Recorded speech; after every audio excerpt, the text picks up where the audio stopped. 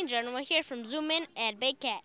Let's zoom in to find out what LEJ is doing to improve youth health. My name is Tracy. Um, work for Literacy for Environmental Justice, uh, which is the organization that built this eco center. So I welcome you to Herons Head Park. This eco center is an off-the-grid building.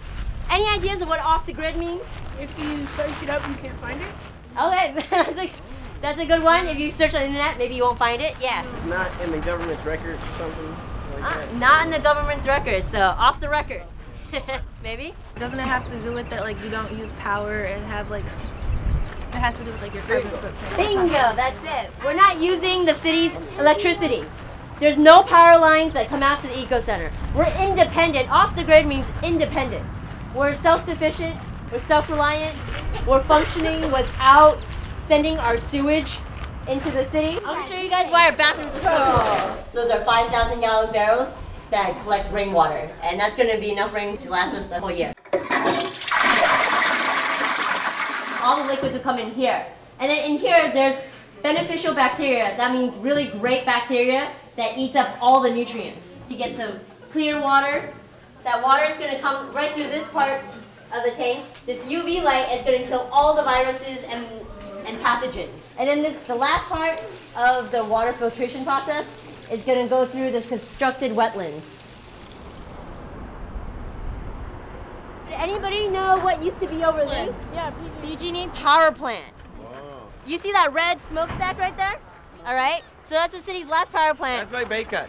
Oh, right by BAYCAT. That's right. Second to last power plant in all of San Francisco is right here. It is called the Evans Street Power Plant in Hunters Point.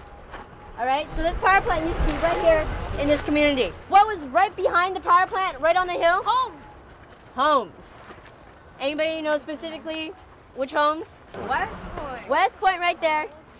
So those are housing projects, some projects right up there. Anybody here who has asthma? Who has asthma? Raise it. Who knows someone with asthma?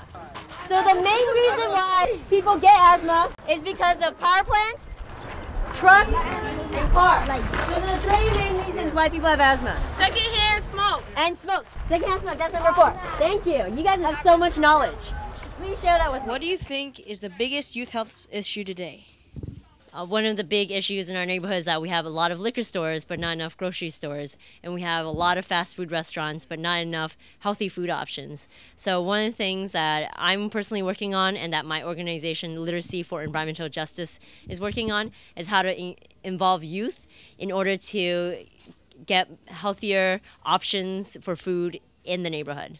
some of the ideas that have come up are, you know, teaching nutrition classes in schools, um, having cooking parties, doing a public service announcement or making a documentary about the effects of junk food on your health. Youth have been really helpful in, in helping us answer that question. Thank you, Robin. It's nice talking with you. I'm Lamar Turner, and we're zooming out.